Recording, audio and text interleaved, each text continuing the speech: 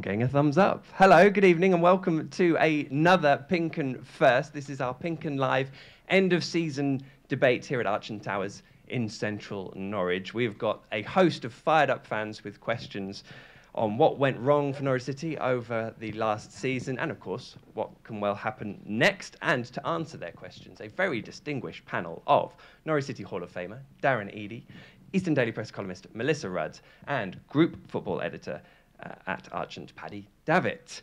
And we want you guys out there on Facebook to get involved too. If you have an opinion or a question, just post them as a comment on the live feed. And we have producer Jake surveying the area, and he will flag up uh, your questions so that the panel can answer those. But uh, I think that is all the admin done. Let's get down to business. Uh, we're going to start with the past, and then we will get stuck into the future, of course. I will go first. Uh, guys, how did City's season really go, and should they have finished in the top six, Darren?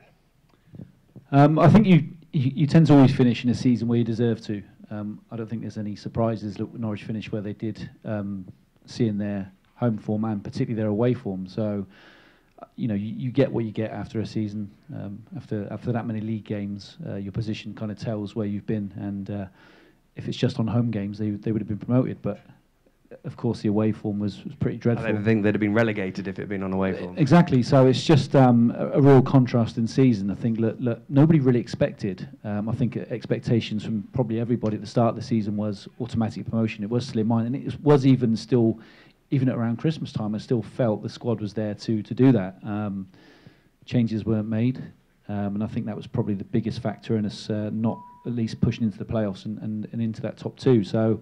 Um, time's been missed a little bit, I think, but uh, there's plenty to look forward to. Evening, Melissa. What do you reckon?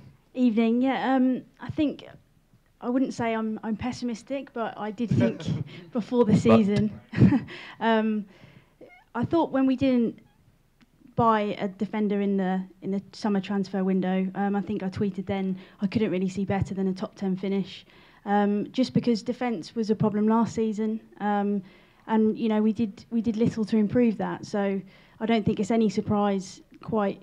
I mean, it's surprising quite how bad we've been, but I always thought that would be that would be where we where we fell down, and it's it's kind of it's, it's been that way. We've not been good enough at the back. We've not been good enough defending from the front either, and you know that's been that's been our downfall. How do you see it, Pad? With the massive question of potential.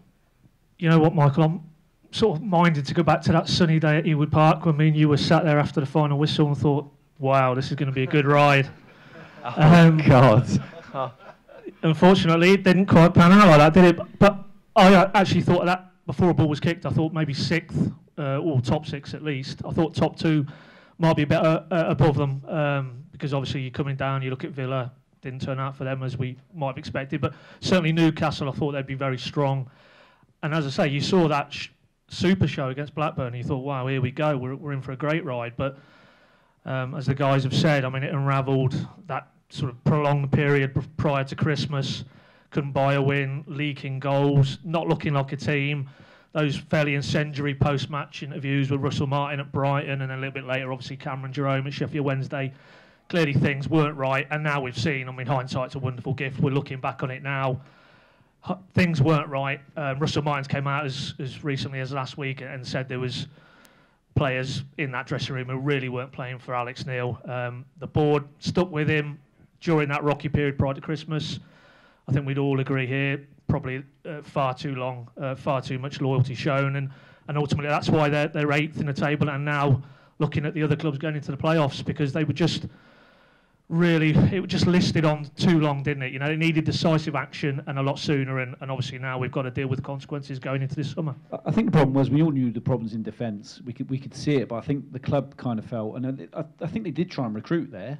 The recruitment was poor. We know that they didn't manage to get the deals, any deals over the line, and I still felt perhaps the club felt that actually we've got enough in the championship to be okay, which was a was a big mistake in hindsight. Again, we all look at it, but even looking at that squad they did manage to recruit defensively. I still felt there was enough at the start of the season defensively to be able to get us through. Um, but little did we know what would go on after that. And it was a, a, poor show defensively, wrong types of players for the championship, and and it all, kind as Paddy said, unravelled pretty quickly just before Christmas. And uh, we thought we were going to go again and strengthen at Christmas time. Again, the recruitment was poor.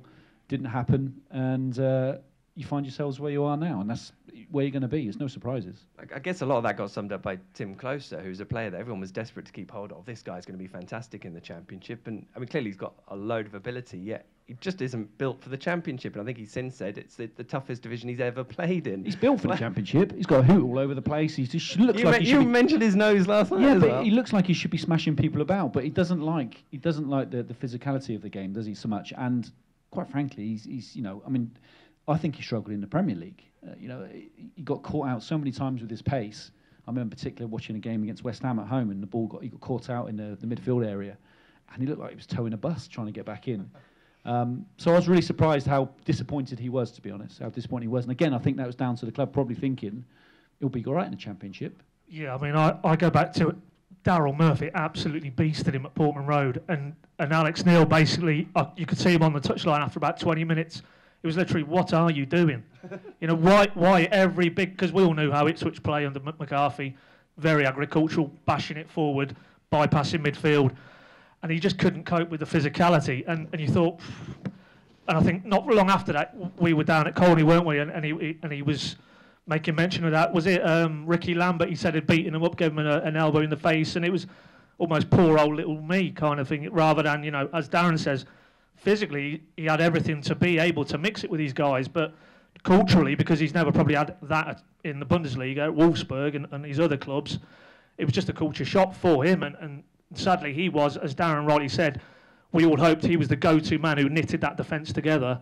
And, and he was struggling, certainly with those physical types of tests that they, he got more often than not in the championship. he has had a whole season in the championship now, though, Melissa. I mean, it- w- th- we're going to get onto it, of course, but he's one of those players where do you stick with him and, and see if he can do it next year, or do you move him on and you're already shaking your head, Darren? but Melissa, Um, it's, I mean, it's a tough one. I think, to be honest, the, the injury that he had at the back end of last season, in a way, y- obviously we our performances and results declined after that, and he, that was kind of a oh well, you know, Klose is out injured now. That hasn't helped things. Perhaps that inflated his his kind of worth more than more than it should have done, maybe. Um, and, and going back to that transfer window, I think there was a, a, feeling among the club and perhaps some fans that if we keep hold of Brady after the, the great European Championships he had and Klose, then then that's good enough. And you know, some of us didn't think that way and were proved right ultimately. But you know, it's a tough one. Do, like, as you say, do you give him another go? Do you hope that he adjusts? Do do you hope that a new manager as well will will kind of instill that kind of confidence and and see p- the parts of his game that he needs to improve? I guess that's for the new, well, Stuart Webber to decide, I guess. it is in, indeed, and we'll get into all that uh, as well. I'm interested in you guys. How many here think Norwich had the potential to finish in the top six? No one? Oh, no, let's go. Yeah, hands up, I should have said, probably. Start of the season, but not now. So you think that Norwich, what, Norwich, they, their squad wasn't as good as you as you thought? If anyone wants to say something, flag up to, to Jake. But I mean, I'm interested that the potential from the start of the season, maybe. I think I think with someone like with Klose as well, I think he's the type of player. uh, You, you, there's some things you can't teach. You can teach skills. You can get them playing the game the right way and how you want them to play, but you can't teach that mentality. If you've got that or you haven't, you're either someone who does dig in and, and get stuck into people, or you're not. And he's just not. So th- as Melissa said, do you give him another chance? I think well, I can't see much changing. To be honest, unless they play a different system where he's going to get a, a, a way of actually playing even a three at the back where he's not so having to be so physical and he can control things. I think he might improve, but there's just some things you can't teach in football, and, and, and that kind of desire and mentality is something you can't. Um, should we move on to another? Jake, have you got Uh, something yeah, to I'm going to pass uh, the mic over to Ryan Brown. Oh, you mentioned about the, the potential at the start of the season. Um, perhaps there was a, a big decision which didn't happen mid-season, and I think that Ryan, that was your question. Is that you? I'm just going to pass the mic over to you. Well, I personally looked at the start of the season, and obviously with, with the defensive problems we had, um, I personally think we should have probably just ripped it up and started again because we got caught out so many times in the Premier League. We got caught out so many times this year. I mean, even when Dijks come in after Olsson, I think he's been caught out a couple of times as well. Pinto gets caught out a lot down the right hand side. Obviously, bombing forward because he's an attacking fullback, but I personally thought at the start of the season, Alex Neil shouldn't have been given the season to have a go at it because he should have cleared out in the summer. I think one of the biggest problems we had, and we'll all, I'm sure we'll all agree on this, was too many times I heard coming out of Colney right from the very start of the season is we're a Premier League team, we're Premier League players. And that went through right up till Christmas until they realised they were bang in it.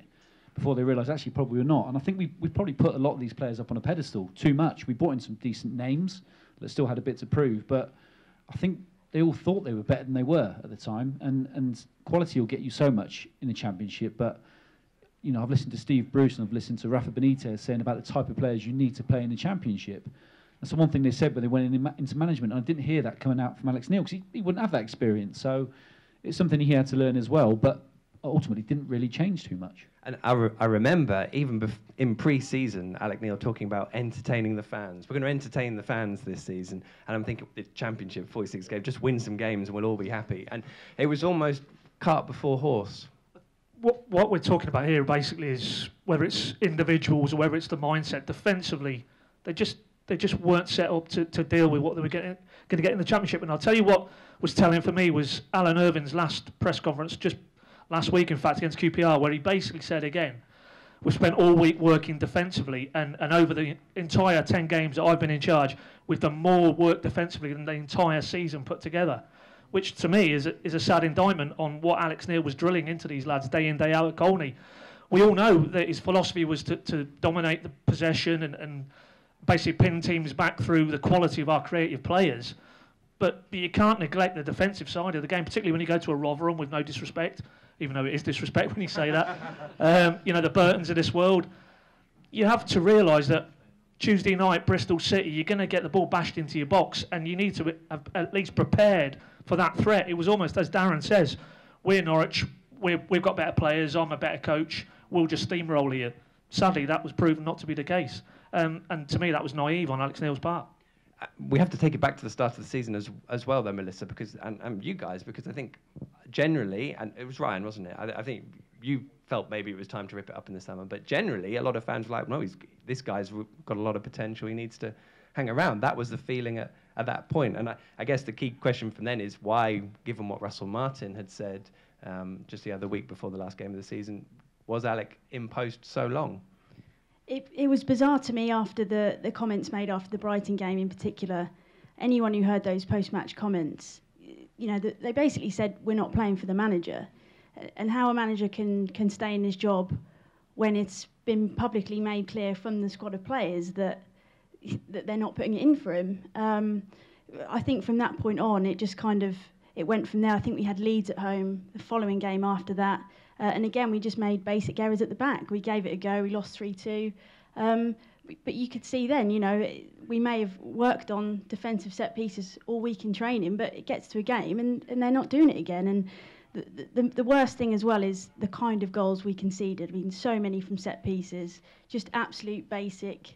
It's schoolboy football. I know that's a cliche, but it is. It's, it's you know, it's not leaving your man on corners. It's, it's making sure you get to the ball first. And there's times when you've watched Norwich this season, you just think, oh, what have you been doing all week? You know, we say it in the stands, but it, you know, it, it, makes you feel like that because you just think these are basic things that are just not not being done by professional footballers, many of which are in the, the, the Premier League last season. It's tricky, I suppose, because we saw a lot of wonderful goals being scored, and then you know the, the reel of goals conceded. Probably quite amusing viewing as well. Jake, you were giving me the sign too. I was. Um, we've got loads of comments um, and questions coming through on the Pink Un Facebook, so please carry on doing that. Um, just while you're talking about the defensive frailties, Anita, you posed a little question to me earlier, which I've written down here, which I think is kind of the perfect time to bring you in here if you want to ask it to the guys. Um, I just said that we could all see as fans that the defence was the problem, and I just wondered why Alex Neil and the board could not see that this was a problem and didn't, didn't you know, do a bit more in that area in the summer. Well, I think um, David McNally brought Alex Neil in, um, and I think he put a lot of trust in him and a lot of trust was put in David McNally to run the football club. I think he was basically in control of everything there. So whatever he wanted to do was going to be done. He brought in Alex Neil, um, and Alex Neil has an arrogance about him, which when you're on the way up is fine because you can get away with it. But when you're on your way down, um, sometimes that arrogance, you need a bit of humility, essentially, and, and understand what other people are thinking because we could all see it. You know, I've had the benefit of, of being inside the changing rooms and seeing it, and now from a media and a, and a, fan point of view, from seeing it as well. And my my opinions didn't change from that ten game poor run that they had. that they were doomed for the season. They weren't going to get in the playoffs and they were not going to get up. And there was still a lot of optimism. Oh, Alex Neil's the man for us. We, but even at the start of the season, I just felt it wasn't going to happen um, for those reasons because he had this arrogance about him, wanted always to play the same way, um, didn't mix things up much, and, and I just felt there's, there was going to be a problem. And that's that's the benefit of what I see the change room. I can I saw the signs. I saw the signs that the players were saying after games, even though they were saying we're all in this together. I could I could just tell you. I could tell you what they're thinking in those changing rooms. And then as Paddy said, they're in the changing rooms, and some of them weren't playing for him. I could have told you that probably three or four games into the poor run they had, because um, I, I know in the position I'd have been in if I was in those changing rooms, you can see it.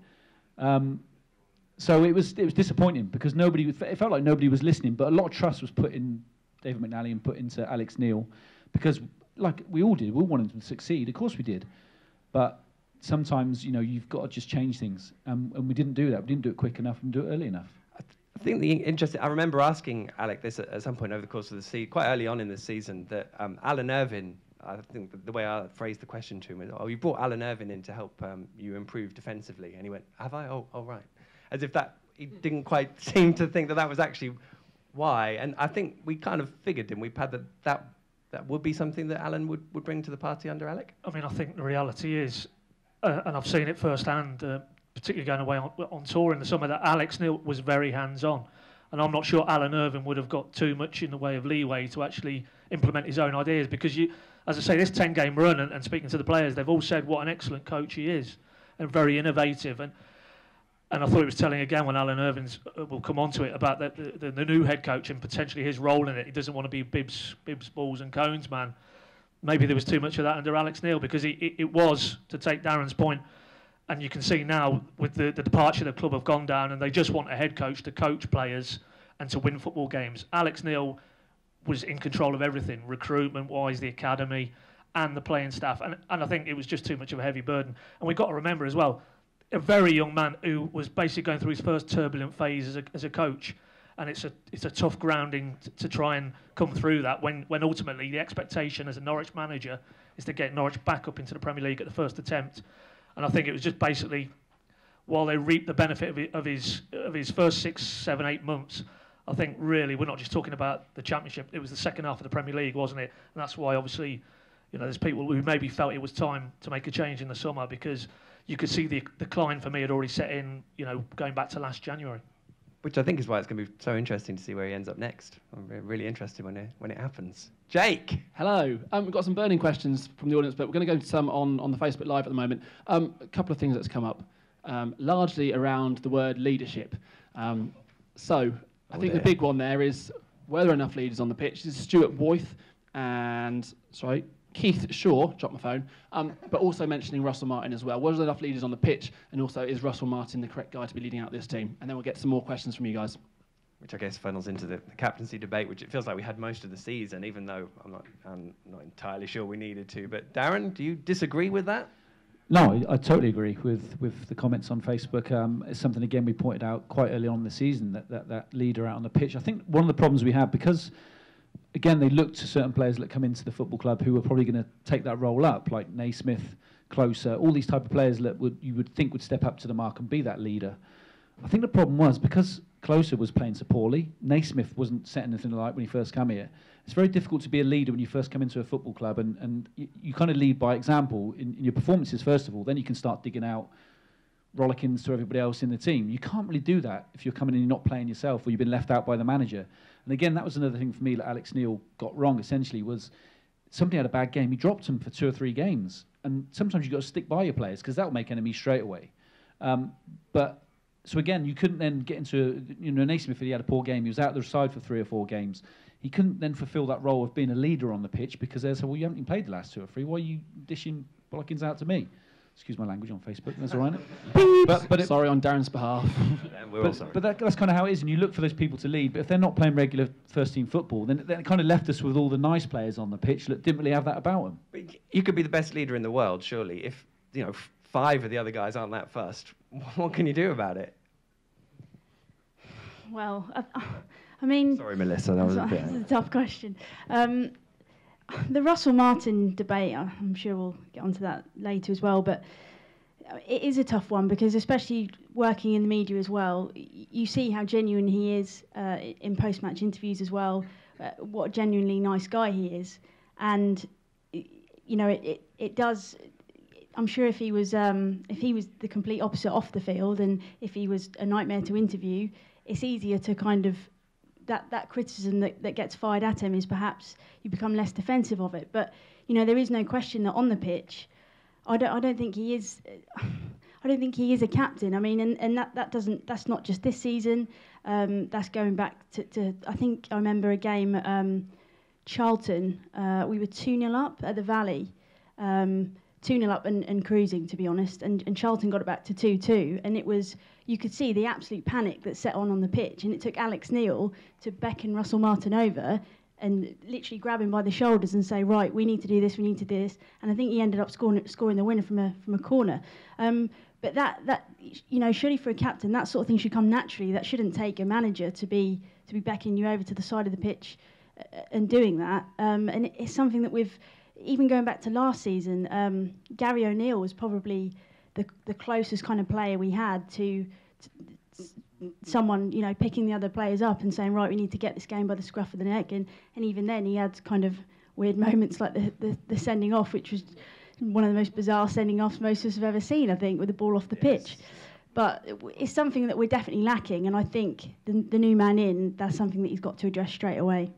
Michael, can I just can I just ask Darren, as a player, do you think the leaders are there now compared to your day? I, I mean, you you look around and, and maybe a, a, I look at a Vincent Kompany or a John Terry, but in your day there was probably every team had two or three. I mean, do you think that's I don't know a cultural thing that's changed? Uh, at Norwich now, certainly not. I don't think there is um, those leaders. There's something that's, but the game has changed. It really has. There's there is a almost a swagger about with players now where they kind of um, feel like almost like they're owed something. You can't touch them. They feel a bit untouchable. Where because it is, it's just the game the way it's moved on, and you know if they have poor game, uh, you know I use Brady as a prime example of that. I thought Brady was going to come in and tear the championship up. I thought he should be. He should be dominating every single week, and he didn't. Now he's still got a 13, what was it, 11, 13 million pound move by playing poorly, essentially on his summer form he had for Ireland. So you don't have to do a great deal to get moves now, and I think that there's no there's no real hunger and drive. So some of those players that could have it don't have it, and some of the players who would never have it have never had it. But we haven't got any at Norwich at the moment. They're still out there. There is still players like that, but you'll find they're playing in the lower leagues because the, the, the foreign coaches have come in. They've brought a lot of different type of mentality players into football clubs, high wages. Um, probably take the players eye off the ball a little bit in terms of their determination to play for that shirt or for that football club. And I can't have a go at that. I think it's quite natural. I think people get comfy. Um, uh, it's something you can't teach. And I said, if you're in a position where somebody's going to say to you, you're going to get all this money, um, it's really difficult. It's really difficult to change that mentality. But there are still players out there. But that's where the recruitment again comes in. You know, I know that Norwich would recruit a lot on stats. They'd look at the, amount of distance somebody ran in a game, or the pass completion, or percentage of keeping the ball. You know, you can't get that. You can't, you can't, you can't scout someone's mentality by stats. You've got to go out there and watch them play. And I don't think there was enough of that going on. There wasn't enough bums on seats in football grounds actually watching these players and seeing what they're doing, find out what type of player they are, how they spend their life when they're not playing a game, what they do when they're off the pitch. None of that was happening. They were buying players on stats and, and, and things like that. And that was, a, for me, was a massive downfall in Norwich's recruitment. I thought they all just played FIFA. They all play FIFA. I'm getting off my chair. Um, you guys have a think about uh, your wor- worst and favourite moment of the season. I'll come and ask you, and then you guys can go first. Worst or favourite moment of the season, Darren? Give me a bit of time. Bit of time. give me a Melissa, of you don't get any time. Um, you can have some time if you want. No, the, I think the worst moment was the equaliser at St James's Park. Uh, it was a ball from a goal kick. Yeah, goal kick went straight over, sailed over Seb Bassong's head. I think it's now on an advert actually. It is. for a betting Yep. company. It was that Clear- good. Clears it once, though, doesn't he? Yeah. Well, it's just I think then that kind of sh- proved to me this this is going to be this is going to be the floor. This is going to be where we're going to fall down. You know, we, we've had this game. We, we're winning in the 92nd minute and we'd lost by the 96th. I mean, that sums up the season, I think. Interesting, the equaliser and not the winner. I suppose it's, you know, it's a difficult choice, wasn't it, really? Go on, Pad. I was just going to actually take, sorry, ta- mate. take the winner, Oops. bec- only because, uh, Michael, as you well know, basically the press box at St James's Park is literally behind the dugouts, and you're surrounded by fans. And it was literally when that winner went in, it was like the charge of the Light Brigade, all these Geordies down the gangway, banging on top of the perspex of the Norwich dugout, and Alex Neil's just looking at him as if, yeah, okay, what do you want me to do? You know, I feel bad enough anyway. It was literally like it was like a riot, and, and, and as Melissa said, yeah, now looking at, back at hindsight, because you can just imagine if Norwich had hung on there that day, could have been also different. Well, and, and the way Newcastle season turned around after Go that. on for you now, Michael. Go on. It's rolled into one, good and bad.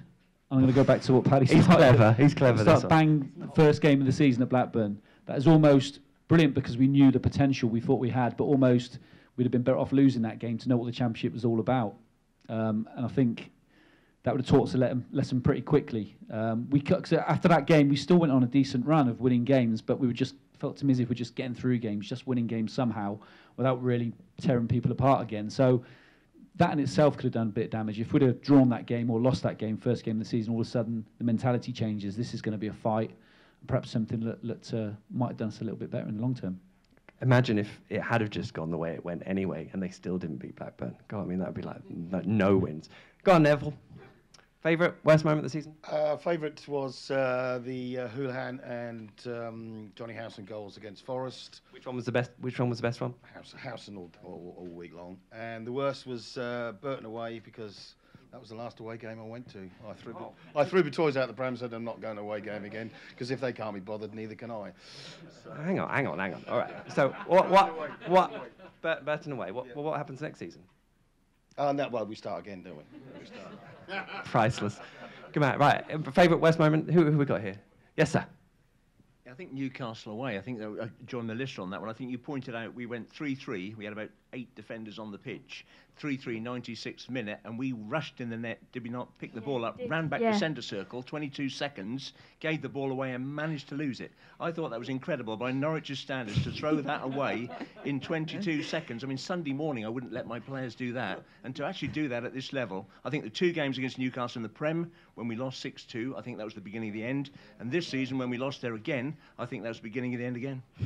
Well, actually, looking right back to that Newcastle in the Premier League was, for me, I felt a real turning point in Alex Neil. For me, that was when things kind of started to go wrong. Um, but again, I think behind the scenes at the football club, a lot of trust was put in Alex Neil, and actually, probably a little bit unfairly because he didn't have the experience to know what to do in the Premier League, particularly, but also he'd never never managed in the Championship. So I was like Paddy. I was surprised to hear when the kind of lack of influence that Alan Irvine did have, um, and, and it was quite evident quite quickly. I think because the defensive frailties didn't seem to improve. So you're thinking, well, what has he what has he brought here? Um, and I've been up to Colney a few times, never really seen Alan Irvine do too much. Um, so it was a surprise to me. Um, so yeah, right, from right back to that day, I think you could see the demise was on its way. But we also badly wanted Alex Neil to do well because of the the way he he was successful when he first came here. But I still believe from that period when he came in right at the very start um, and got us promoted, I did feel that any manager worth his salts in the championship would have got Norwich promoted that season. They had a quality squad, um, just needed a bit of a change and a redirection, which in hindsight, again, is the similar thing to what we should have done with Alex Neil beforehand, because we knew with um, with Neil Adams it was going wrong, change things around, turn things right. I think with, there's a little bit too much faith put in Alex Neil, um, but it, it is hindsight, but the, the signs were there for me right right from the very start with Alex Neil, I think. Sophie, Diane. I'll just pick on you. El- uh, Ellie's got a microphone. Favorite worst moment of the season? Worst moment, I wasn't at Newcastle because I was there the previous season and Once was enough. to go again. Um, I think it was after the Brighton game. I was stood in the park and ride queue, and all the Brighton fans were saying, "Just think, we'd have been happy with a draw."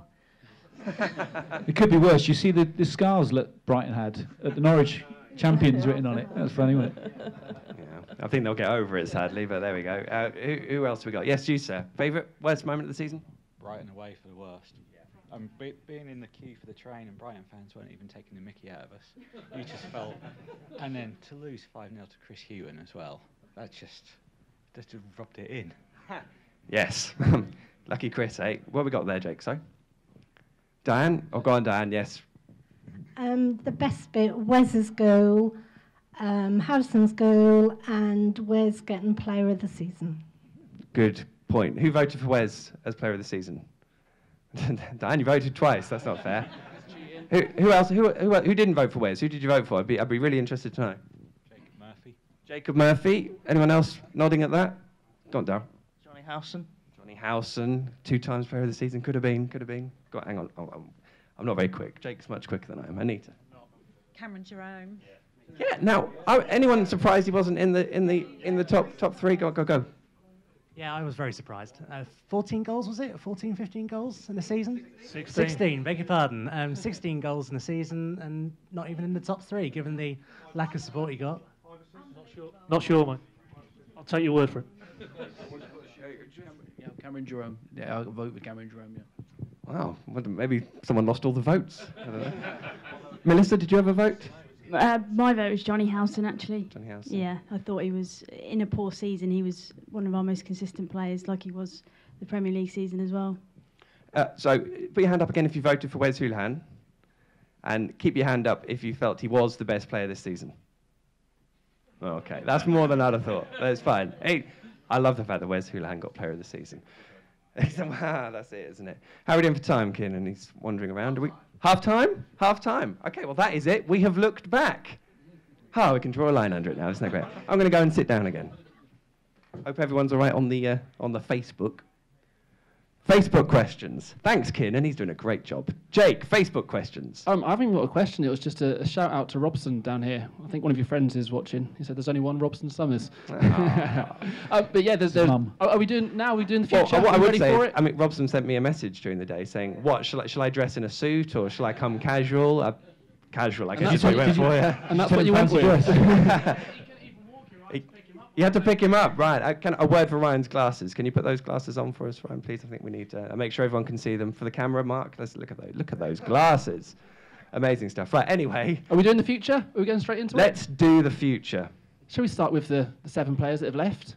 Why not? Shall we do that? Um, Robson, I've got a question from you here about Mr. John Ruddy. Do you want to ask it to the guys? Um, just asking, him, how do you feel that he's um, been um, told to leave? Um, is that something you think is good or bad? Um, we had a chat about this last night on the Pink Un show, and I think everybody kind of agreed in the end that it, it probably was the right time for him to leave. Um, I think financially, there's no way the club would offer him anything derogatory, and he, he said a lot about that in his post-match interview about how he felt the club treated him well. Uh, they didn't try and offer him something that he was going to turn down. Um, but we, we, can't say that John Ruddy's had a fantastic season, this one or last. I think he's in goalkeepers we've we struggled a little bit. But one thing in John Ruddy's defence is he's been let down hugely by the, the defensive line, well, the defensive ten people in front of him. Um, he's a, he's a he's a really good goalkeeper, and he will go to another club that will snap him up, and he'll he'll continue his career. But I, I, did just feel it was the right time for everybody, and and. And brilliant that he got the send off he did. We talked about this last night as well. It's very rare that a player gets that opportunity because normally when you get Darren- sold, Darren didn't. Normally, yeah.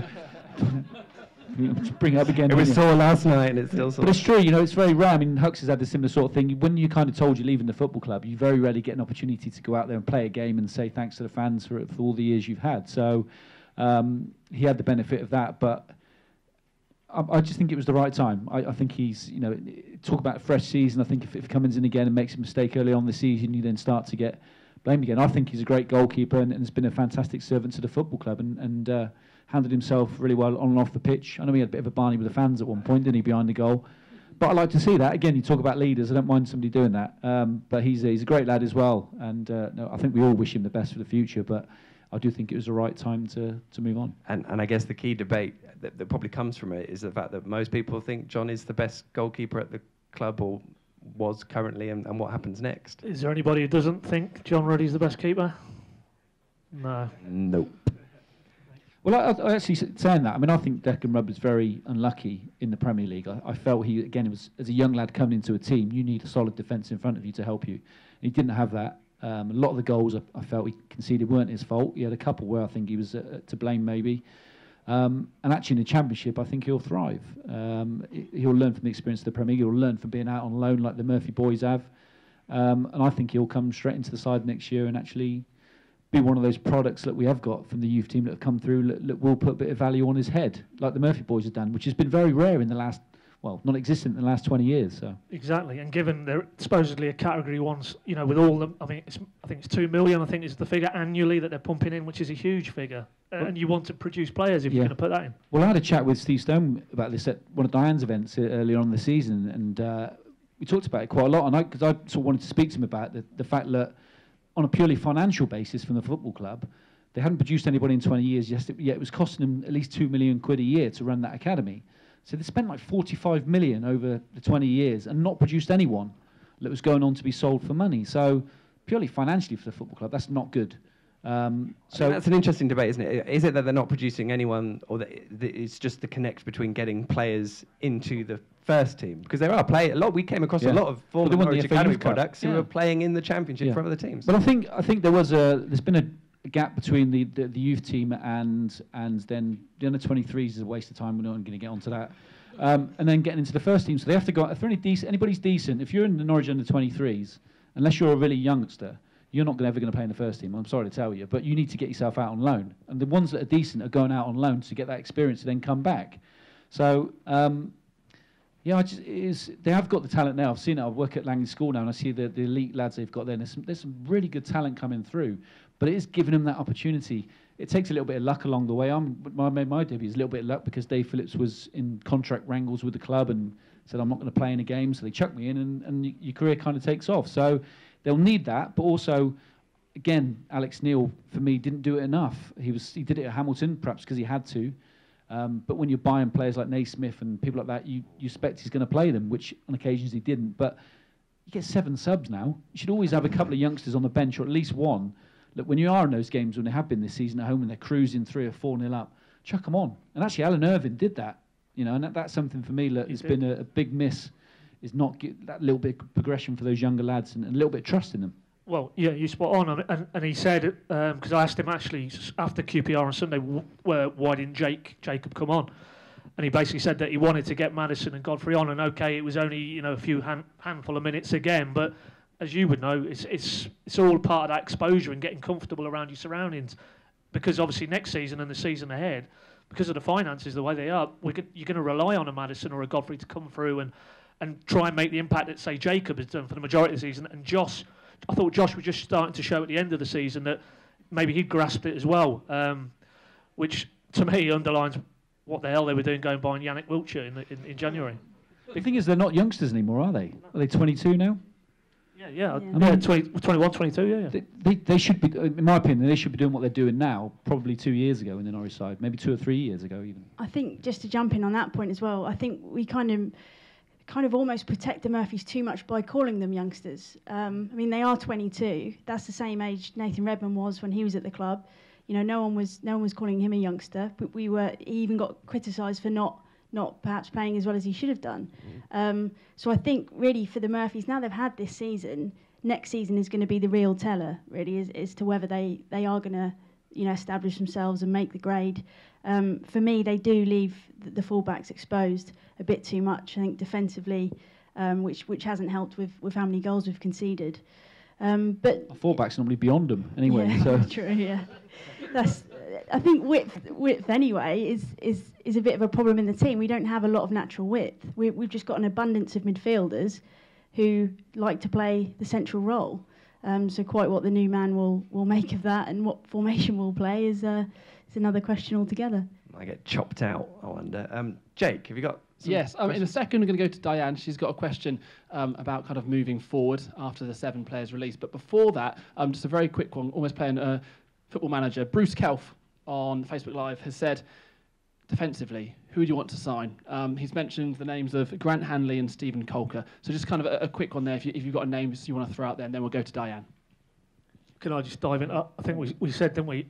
Those two lads at Leeds, Bartley and uh, Jansson, they're not maybe a Timm Klose in terms of on the ball, but they, it's thou shalt not pass attitude, and, um, and and obviously they carry a threat in the opposition box as we saw. I think it was for the second goal, it was Jansson near post flick, and it was Bartley reacting uh, quicker than any other Norwich player inside that box. So you, you're going to need, for me, this this summer, proven Championship performers in those positions, and I think those two would, would fit the bill. Yeah. I've, I've only got the word Steve Morison, and I don't mean Steve Morison. It, uh, at Cardiff, uh, the captain, Cardiff. Car- Uh, Sean Morrison. Sean Morrison is who I mean because I think he's looked good personally. But there we go. uh, for me, I don't care who they are, what names they are. Just defenders look and defend, uh, and I mean in, in a sense that, and I mean that in a You'd be sense. great I mean recruitment, Darren, eh? But I mean that in a in a because we have so many forward-thinking midfielders and attackers, and the way we play the game, and we, we kind of had that defensive midfield area, which for me again has never really worked particularly well with Tettey. Um, we need defenders that can defend. You know, defenders that are going to be brought in to, to know their job and defend first. Because as I said, we've got enough attacking talent in the side to score goals. You know, we, that's where, as Melissa said, we get hugely exposed when we do go forward and lose the ball because they're all bombing forward, which is great when you're winning games and three or four nil up. You can you can do it all day long, but when you're up against the fight, you need a back four that will actually going to stand, stay tough, stay back, and actually stay. Wait, how many times we got caught out when the ball was in our own box and it, when it, we then got forward? Our fullbacks bombed forward, and we left so isolated at the back with two, one or two defenders. Go on, Timm. That's all yeah, and, it- and that's what happens. And, and, and to be fair to Timm, that's not all his fault. You know, he's got to have the support around him to be able to cope with it. I mean, I mean, again, when Mitchell Dijks came in, he, it was a lot of what he was saying. Well, I like to get forward. I'm like, well, yeah, all right. but if you could defend, that would be grand. Just out of interest, hands up, who would keep Mitchell Dijks for next season? Everyone. Ooh. At any cost? No, obviously. Stupid question. Um, but there we go. Uh, did you want to go to Diane? It's Diane. Diane, you've got the microphone and everything. Away you go. Hello. Um, just looking ahead now, we've released seven players, which was probably the easy bit because they were all out of contract. I just wondered, out of the players which are left, which ones do the panel think might leave? This is where Stuart Webber will get creative, I presume. Is the word. So it's a, it's a great question because ultimately it's probably going to depend who comes in for them. Norwich may not even have control of that. Yeah, you've hit the nail on the head because ultimately what you're dealing with now is guys who are still under contract, so they're, they're not going to go anywhere. And we had this clearly with those seven. There was opportunities. I'm sure clubs came in, but clearly if we'll pick a name out, if Kyle Lafferty isn't going to get the money he was going to get here, he wasn't going anywhere. So it's slightly more tricky. I would I would think he would try, despite you know assurances to the contrary. Naismith financially, you'd, you'd probably could feel you could move him on and recycle that sort of money. But again, who is going to come and offer him the money he's on at Norwich? Um, n- I'm not not down on the bloke, but Wildschut, I think. Um, if, if they could move him on, because cause I don't. Well, yeah, all right, maybe I am, but uh, I just don't think he's shown enough. And, and I'm I'm not Not judging. being disrespectful. No, no, wing, wing, wingers union here, mate. Yeah, no, but but only because you know you've got the two Murphys, you've got you know if he still stays here, um, you know the Pritchards and and Wes and and the, there's basically guys in those positions, and I, just feel you're not going to miss you know him, and and the reality is. They, they spent a lot of money on him, so I don't think they'd be able to recoup that. But I think that's to pick up the creative point is they're probably going to take have to take a loss on one or two of these if they want to move them on, and they're going to need to move players on now because otherwise they won't be able to bring in the players they want. Um, and I'll just throw another one in there. I think Alex Tettey, I think he might be in danger. I think he's only got a year off, the off the top of my head left. Um, and we've seen in the last few days that they're getting linked with, you know, the boy at Stewart at Liverpool, that, that type of combative midfielder. Um, I think by his own admission, he, he didn't reach the levels he's reached before. And, and we all know physically he, he can't really handle the Tuesday, Saturday, Tuesday. So I, I think it might be a time for maybe if, if, if all the planets aligned, maybe Alex moved on, I think. I mean, we spoke to Stuart Webber at the start of the week, and basically the indication is anyone's for sale if someone offers enough money. So th- there is that element, and that I guess begs the question, Melissa: Who do you desperately keep hold of at all costs, or as many costs as you can afford? I think for me, the way Alex Pritchard has played under Alan Irvine is just just proved.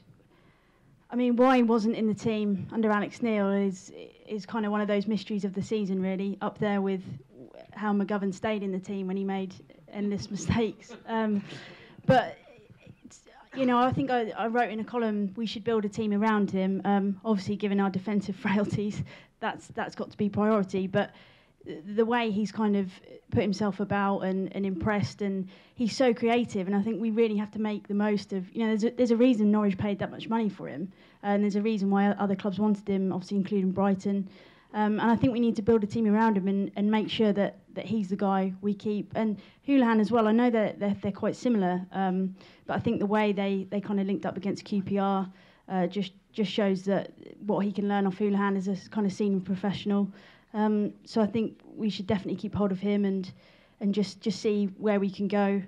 Um, he's the he's going to be our main man, I think, for me next season. Here, here, here. Uh, Jake. Another question from the audience. Mentioned Pritchard there, someone to, to build around in, in, in the future. Another man I suppose you can put under that category is James Maddison. Um, so that brings me to you, sir. Sorry, madam. Uh, thank you. Uh, I just wondered if the panel thought that uh, Maddison will be able to do the same for Norwich City as he did when he was up in Aberdeen. Um, he looks as though he could do. Yeah, I think if you talk about um, things that players have lacked this season within Norwich's squad in terms of desire and, and willingness to to put their foot in, I think he's got a bit of that in him as well. He's a great player on the ball, um, but I think he's got a bit of heart and fight about him. Um, I've heard a few stories on and off the pitch about him, which which isn't a problem. I think a lot of footballers are like that, you know, and you kind of. I'll count and it's not a good enough to elaborate. It's on not- yeah, we- It's we're not in- me and Paddy's ears not, are pretty- not, not in a bad way. I just think he's he's the type of lad that actually looks after himself, and, and that for me is, is a great sign from from someone so young as him. Um, I think he'll go on and have a, a great career at Norwich. I do, but. And he's even, you know, he's been disappointed he's not been involved. He's made that public. that He's, he's been disappointed he hasn't been involved sooner. And the fact that he's a young lad and saying that, and that brings me back to players like Craig Bellamy, who was just a, that's a nightmare off the pitch because he was the way he was. But that, that's what made Didn't him such a matter. good. But that's what, just what made him such a good player on it. Um, so I, I think he'll do well. I, I think it's just an interesting point talking about the whole the way the club's going to go, and, it, and it's just so disappointing for me. You look back to what three years ago when they're in the Premier League, and I felt that's the ideal opportunity for Norwich to go and become a dare I say it, and similar sized clubs to Southampton, a Stoke, a West Brom. That was the time they had that opportunity, and, and it's kind of fallen away. Now we're talking about all these players moving on for financial reasons, which is so quickly turned around. And again, for me, it was kind of a, a little bit of a, a sort of heads in the sand, I think, um, from above, and, and, and thinking it was all going to be okay. When actually, that was the time I felt it could have gone on to that next level. Um, in terms of players staying, uh, it's going to be purely financial decisions. I, I agree with Melissa. The only one I'd really want to keep is Pritchard. Um, anybody else, uh, Jonny Howson maybe, but apart from that, actually, I'm not not too fast. I think there's enough quality players out there that can, and, and I'm really excited actually about the future. I think under Stuart Webber, certainly saying the right things and, and looking forward to, to what happens in the summer. And I think we all probably feel the same way.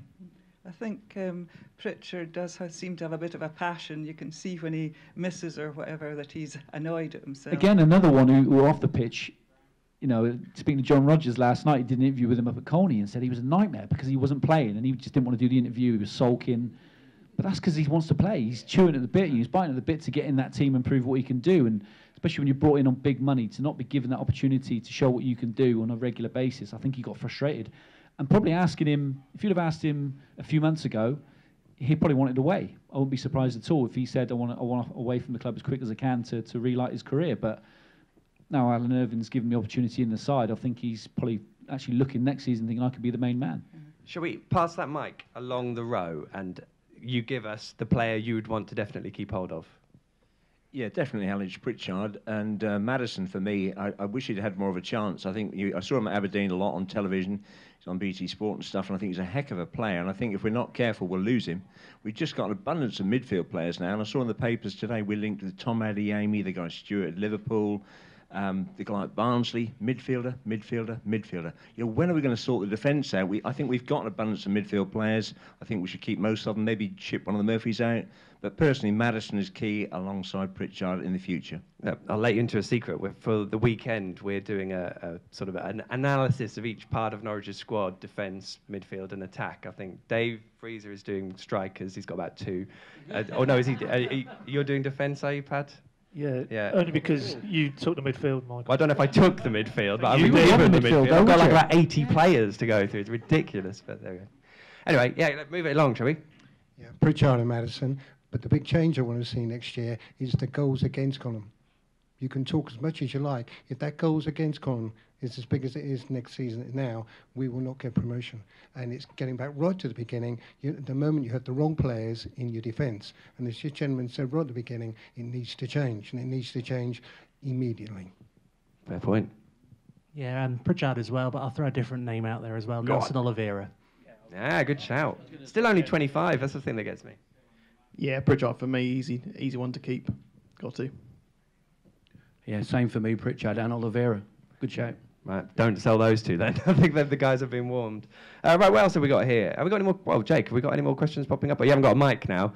Well, I'll, we'll just pass it. Look at the efficiency there. Well so done, I'd sir. be interested to know as well. I've, I've spoken to quite a lot of the Norwich fans doing the, the, the Pink Un Live show after the games on a Saturday and trying to gauge where they feel next season will go in terms of h- actually how long are they happy to be in the Championship. Because I think Stuart Webber's kind of asked for a bit of time to, to, to, to turn things round, and that to me feels like a two or three season job that he's talking about.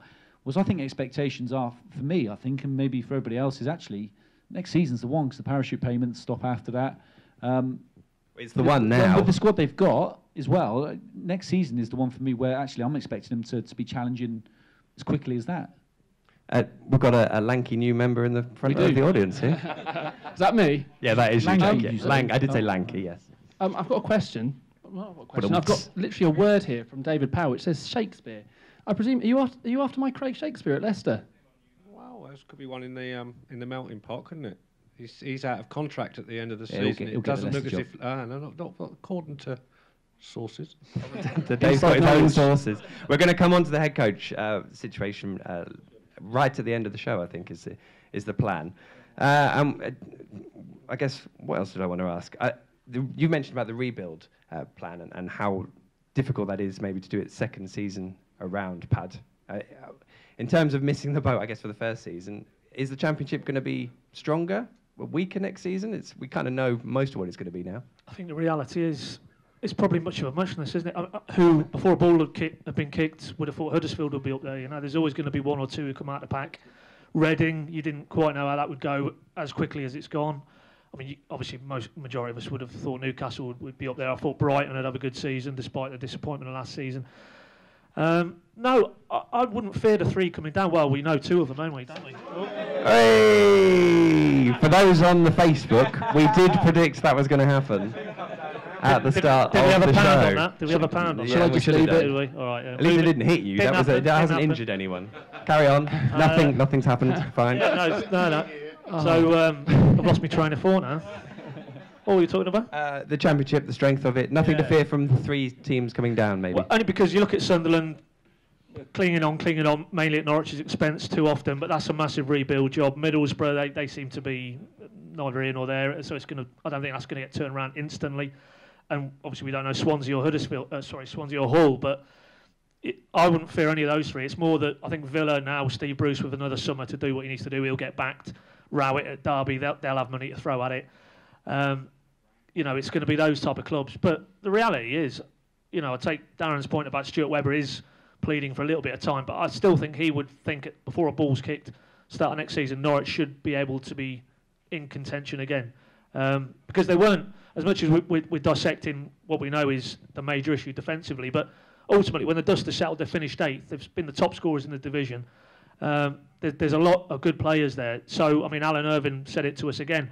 It's not, in his words, it's not revolution, it's an evolution. If they can retain, as we've said, the Pritchards, the Oliveiras of this world, they will continue to carry a threat offensively. It's just really, can they do what they need to do in the window defensively um, to, to, to as, as the gentleman said there, bring the goals against Column down? If they do that, you would think they wouldn't be too far away again. I, I just think as well, Stuart Webber must have been licking his lips when he sat at home watching his home games. How the way the team have performed.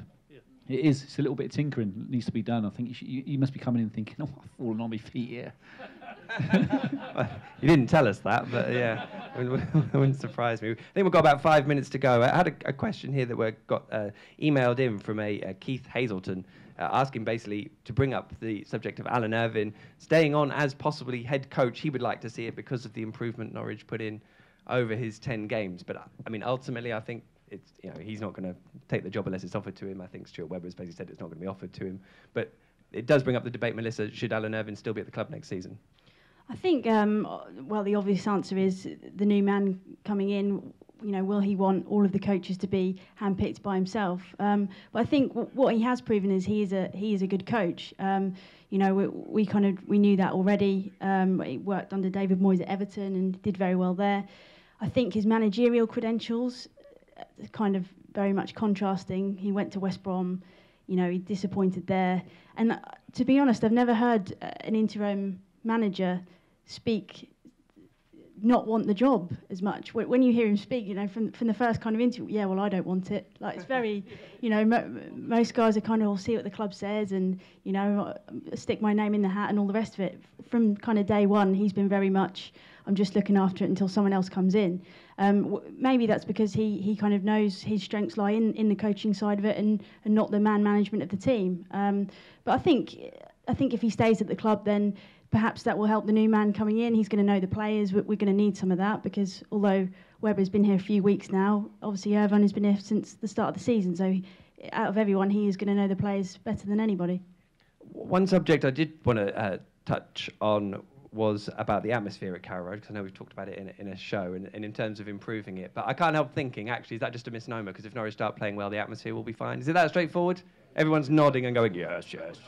Neville says that would help. All right, then. So just get winning and we'll improve the atmosphere. Uh, which takes us on to the head coach. Who is it going to be? Um, we're going to ask you guys. We're going to get some names from you. I'm going to come off my, off my chair and everything. But you guys, who do you want the Norwich City's new head coach to be? If you were Stuart Webber, Darren? Um, I think he'll follow the same path he if he's followed at, at Huddersfield. Um, I just think it's, it's proven successful, and I think when you get in that position and it is successful, why would you change it? I can only see either Wagner coming here, possibly if they don't go in the, for the playoffs.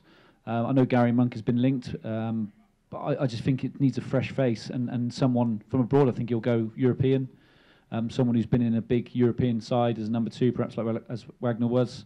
Uh, I think that's the way it'll go because it's just it's worked. Why would you change it? Do it again, Melissa. Um, I think if Fulham uh, um, obviously don't go up in the playoffs, I think Slavisa Jokanovic could be could be a good shout. It's a great shout. I mean, he, um, I think he's really harshly treated at Watford. I mean, he got them up. He's Fulham lost two their their two best players last season, and he's you know who would have thought that they'd they'd have done as well as they could. Um, perhaps they're they're not great at the back, which is a bit of a bit of a worry after the last. The, the template's already here. It just it's, yeah. it's slot seamlessly. Bad. Yeah, I think if Huddersfield don't get up, I think he'll go for Wagner. Mainly because, as Darren says, that relationship clearly has worked okay. Huddersfield, if they fall short in the playoffs, it's still an unbelievable season. Um, and what he wouldn't have to do there is, is because we've, we've, we've spoken about it, Steve Stone said it again, the relationship between the head coach and the sporting director is absolutely pivotal. They both have to be on the same page of the same mindset, and those two guys clearly are. So you wouldn't have to try and build that relationship. And um, and I, I, would imagine if we took a straw poll here. I'm sure if Wagner came in, that would be really exciting, wouldn't it, for most Norwich fans? It would be. Um, yeah, should we get some names? Sir, head coach. David Wagner. Wagner. David Ryan, you're taking your glasses off. Um, I've, I've heard a lot of rumours mentioning Martin O'Neill saying he's got unfinished business at Norwich. Um, I'd like to see him come in because he's good defensively minded. At, at the end of the day, we need someone who's going to sort the defence out and someone who's going to teach people how to tackle properly instead of wussing out. Not even Pep Guardiola teaches people how to ta- tackle properly. I haven't played under Martin O'Neill. I, I just think he might clash a little bit with people above him. Um, yep. I think he's, he likes to lead and do the way he wants to do it, uh, and I think that as great a manager he is, sporting director, exactly. You know, and so that, that for me would, would knock that, that one on the head. That is going to influence the decision. How about a name? Yeah, apart from Wagner, I think the dark horse was Heckingbottom at Barnsley. He was doing really well until he had to sell his best players, and if he would do the BBC job, then he could be interesting. And he, he did well after he sold the players, to be honest, the way the Barnsley season went. I'm sorry, Jake. Uh, sir? Uh, should have got Harry Redknapp in, really. How about, Ro- how about, how about Roy Keane? Roy Keane? No, he's, he's only joshing. He's only joshing.